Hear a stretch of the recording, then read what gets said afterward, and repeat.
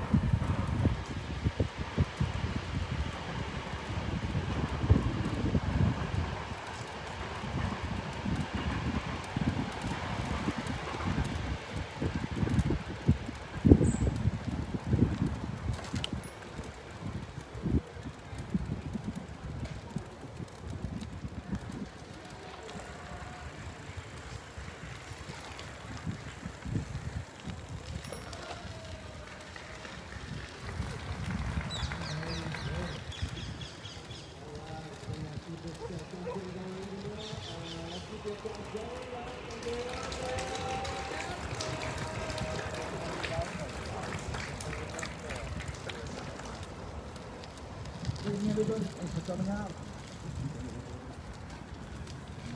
I feel great, sir. All right. Uh. Good looking people. Thanks for coming again. Thanks for coming. You're not gonna be clapping after I'm done, trust me. I'm the to make the other comics look good.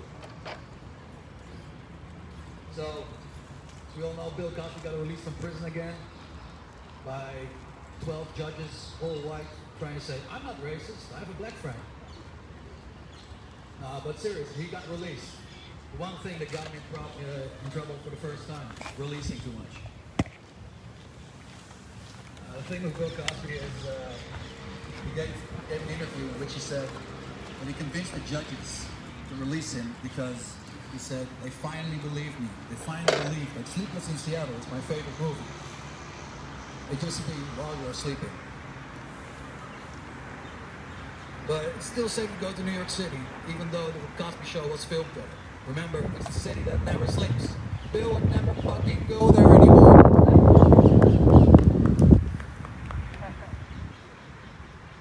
And other news, other news today, a gun got sold that was used to kill the infamous uh, legend of the West, Billy the Kid, for six million dollars. I mean, for a gun that doesn't work.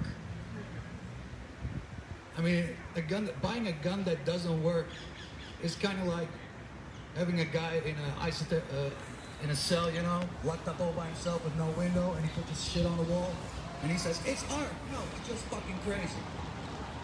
All right. And the guy who bought it was a guy from Texas. And people from Texas buying guns to them is like for regular guys